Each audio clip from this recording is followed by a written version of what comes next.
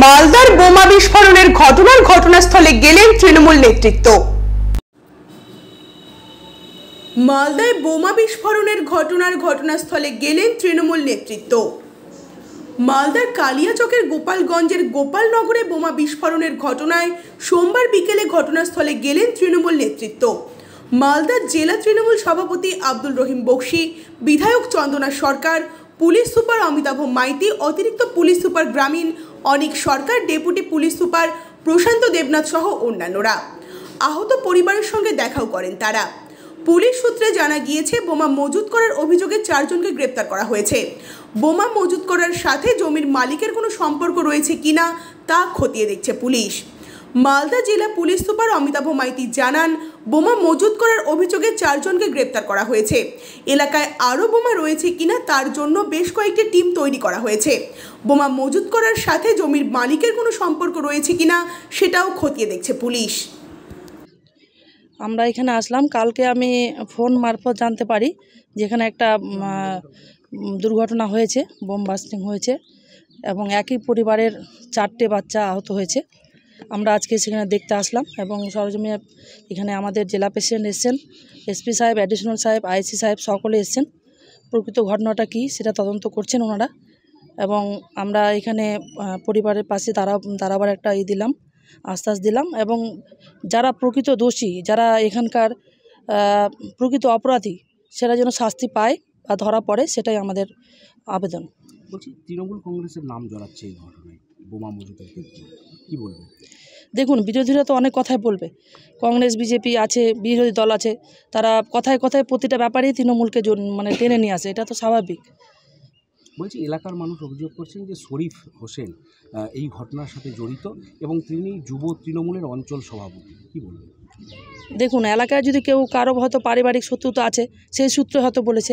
বা এখানকার এলাকার লোকের কাছে জিজ্ঞেস করে নিন যে ছেলেটা কেমন বা কী করে এলাকার লোকজনই উত্তর দিয়ে দেবে। কীভাবে সাহায্য করবেন এই পরিবারকে? আমরা দেখুন আপাতত এখন দেখলাম একটা বাচ্চা আছে আর কি। বাকি বাচ্চা তিনজন পেশেন্ট যাদের দেখলাম, তাতে করে মানে শুনলাম আর কি, হাসপাতালে আছে।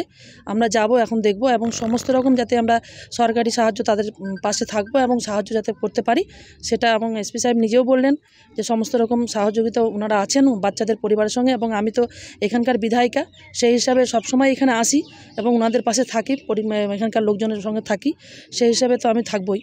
বলছি বোমা মজুদের কারণ কি? কি শুনতে পাচ্ছেন আপনি এলাকাতে দেখুন কারণটা কি সেটা আমি তো আর সিআইডি নই বা আমি পুলিশ অফিসারও নই। হ্যাঁ পুলিশ আছে তদন্ত করছে।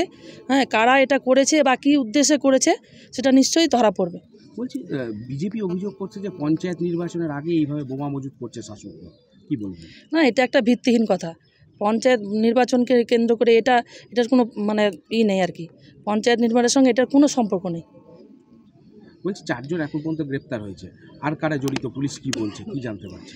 দেখুন, ওরা পুলিশ প্রশাসন এটা হয়তো ধরেছে, অ্যারেস্ট করেছে, আরও হয়তো কিছু অ্যারেস্ট করবে।